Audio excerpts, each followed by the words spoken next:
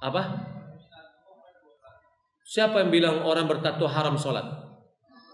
Hah? Kata orang. Belum kita bahas dalam surau TV.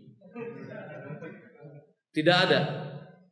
Orang yang bertato muslim wajib sholat. Sholatnya sah. Ya. Sholatnya sah. Yang tidak boleh itu ketika dia membuat tato dulu. Ya. Sekarang dia bertobat. Alhamdulillah. Mungkin sekujur tubuhnya adalah tato. Apa kata Imam Nawawi? Imam Nawawi mengatakan wajib bagi orang punya tato itu menghilangkan. Ya. Selama di dalam menghilangkannya itu dia mampu dan tidak merusak. Kalau disetrikanya kulinya sehingga membalik itu nggak boleh. Kalau dengan laser dia mampu dia harus lakukan. Adapun sholatnya sah, taharahnya sah, karena tato itu di bawah kulit bukan di atas kulit.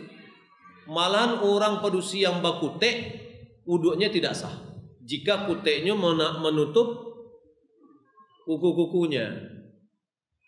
Kalau wudhunya tidak sah, sholatnya tidak sah. Ya, orang bertato mungkin tatonya di badan. Secara berwudhu tidak ada berhubungan dengan anggota wudhunya. Tapi kalau seandainya dia junub, ya, tetap dia harus mandi dan tato itu kan di bawah kulit ya maka taharonya sah Allah jadi siapa pun orang muslim bertato atau tidak tato ya dia wajib sholat dan sholatnya sah yang parah itu adalah orang yang tidak bertato dan tidak sholat. Wallahu a'lam